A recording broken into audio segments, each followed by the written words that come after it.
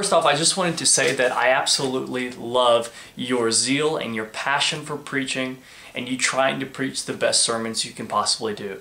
I think that if any of the preachers across America had half of your zeal and your passion that you bring to the pulpit, I think that we could ultimately change America uh, uh, just through its preaching alone and through nothing else. So I, I just want to thank you for presenting that zeal and that passion to the best of your ability. You do a really good job with showing your emotions and showing your feeling from the pulpit, which I think a lot of preachers lack. With that said, this video is designed to bring some of the things that you said uh, during your particular sermon of how Bible colleges are unbiblical. And basically, I don't agree with you at all on that point. Um, I do love you, but I'm not going to agree with you on that.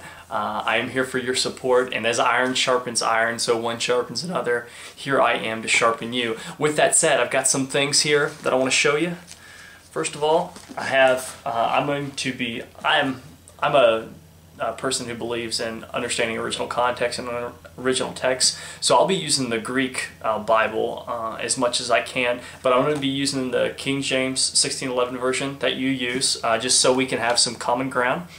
I'm going to use uh, the Greek New Testament, uh, the Hebrew Torah, and as you see, I've got about many pages of notes that I had against your sermon and just things I didn't agree with you on uh, that were absolutely biblical.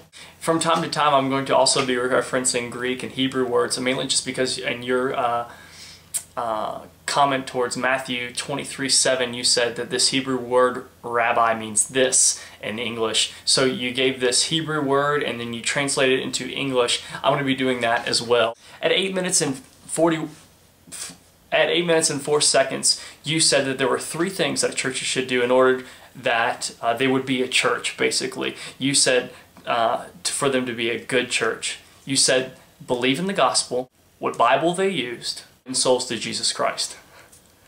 Uh, unfortunately, I, I agree with you on a lot of that, but I don't agree with you on the Bible part. Mainly just because when we flip to Acts 2.42,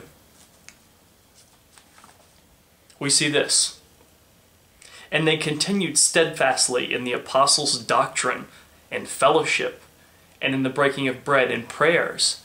Uh, I really feel as though if we're trying to get back to that first century church or first century model for a Christian church, which I think is, is what you believe in trying to do, trying to get back to what this says, then we have to devote ourselves to the apostles' doctrine, fellowship, breaking of bread, communion, and prayer. But the problem is, you think that the church should have uh, the correct Bible, which unfortunately they didn't have the Bible in this New Testament church of Acts. They had oral tradition. They didn't have the Bible yet. So, so what constitutes being the right Bible? I'm an avid person who does not believe in the 1611 uh, manifesto uh, of uh, the King James Version Bible. I have a number of reasons why I believe that, but I won't go into those today. Of course, about where are all these preachers? You were talking about that, and within the you said that all within the context of not seeing any results. You said, "Well, where are all these preachers?" That must mean that you're not seeing results of these Bible colleges. And you said, please remember, you said, what you are doing is not working. Also, in Matthew 23 7, we're finding the Hebrew word for rabbi. Now, Jesus is telling his disciples, don't call them rabbi. Now, what you were alluding to in your sermon was that you're not going to call anybody by this title of master, and you derive this title master from the Hebrew word rabbi. And this is simply just a misreading of the text, or misunderstanding, mistranslating, misdefining of the Hebrew word rabbi. The Hebrew word rabbi simply means teacher. Your 2 Kings 22:14 reference to college is also an incorrect, incorrect reference as well. Actual reference is to the part of town that this woman lived in and not the college as we think of it today. But Baret, it says college. Well, in the word, the word college and the year 1611 means a lot different than the word college we have in 2009. The word college in 1611 meant a body of persons having a common pers uh, purpose or shared duties. Since Huldah was a prophetess who was a keeper of the wardrobe she lived in the same area as all the wardrobe keepers did. And from archaeological discoveries and from uh, historical uh, context as well and other ancient documents, we learned that was a common practice to live with people who did your same craft or your same art. I mean, that's that's given. The Hebrew word or college in, in the King James Version Bible is second quarter.